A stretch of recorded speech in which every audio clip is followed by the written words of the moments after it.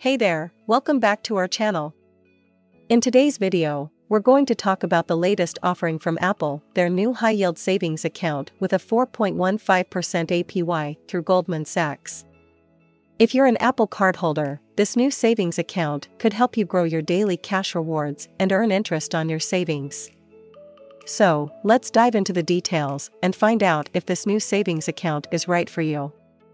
Starting today, Apple cardholders can now enjoy the benefits of having a savings account with a 4.15% APY, which is over 11 times the national average.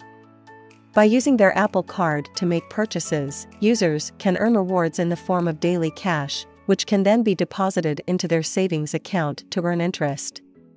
This is a great way to get even more value out of your Apple Card benefits while also saving money every day.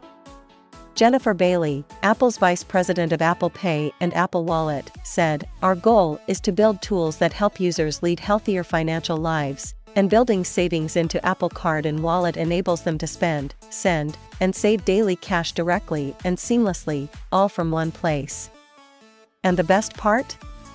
Apple Savings Account doesn't require a minimum deposit, charge any fees, or tie savers to any minimum balance requirements. So, you can easily start saving without worrying about any extra costs. In addition, savers can easily track their savings by viewing their savings account balance and earned interest from the savings dashboard in their wallet. If they need to use their savings, they can transfer the money to a linked bank account or to their Apple Cash card with no fees.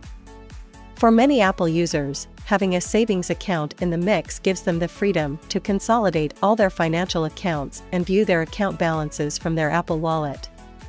If you're interested in choosing a high yield savings account, it's important to compare rates, fees, and requirements tied to each account before making your decision.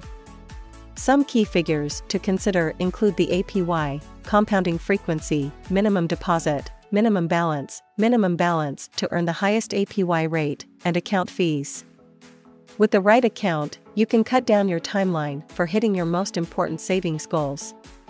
If you found this video helpful, don't forget to hit the like button and leave a comment down below with your thoughts. Also, make sure to subscribe to our channel for more informative videos like this one.